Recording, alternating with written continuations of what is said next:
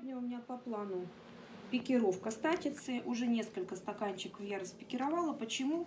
Ну, во-первых, потому что уже месяц моим растениям, а во-вторых, уже у них появляются четвертые, пятые постоянные листочки. И еще одно растенице из 12, стопроцентная схожесть была буквально на вторые сутки.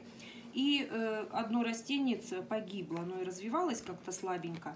Поэтому я решила их сегодня распикировать. Распикировать буду я вот в такие стаканчики вытянутой формы 0,2 литра. А почему? Потому что можно и пошире взять, но у статицы у нее корневая система стержневая, поэтому в дальнейшем для ее развития потребуется немного больше места, вытянутые, поэтому такие у меня стаканчики. Очень аккуратненько переношу, вот они корешочки видны.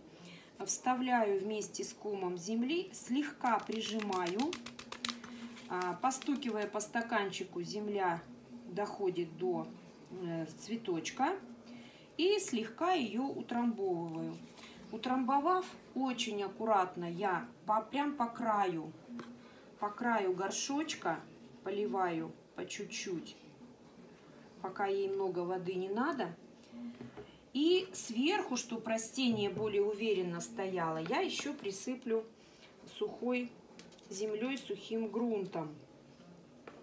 И оно тогда будет более уверенно себя чувствовать, пока э, корневая система в этом стаканчике не нарастет. Вот, он уже крепенько стоит. И еще, на всякий случай от почвенных мошек я присыпаю верх табачной пылью. Она резкого запаха не имеет, ну, попахивает немножко, но это не критично. Вот таким вот образом я их распекировала. Воду, видите, я сильно не наливаю. И поливаю я вот таким удобрением эмпатока. Во-первых, э, с помощью этого удобрения идет улучшение структуры почвы. И питательные вещества с помощью же этого удобрения Э, попадают, э, хорошо усваиваются растением, корневой системой.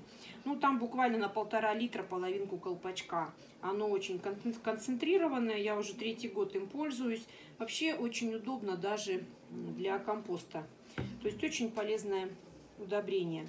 Вот, вот такие вот растюшки у меня теперь уходят не на солнце. Я их сейчас поставлю. Я их буду ставить на светлое место на светлое место, подальше от прямых солнечных лучей.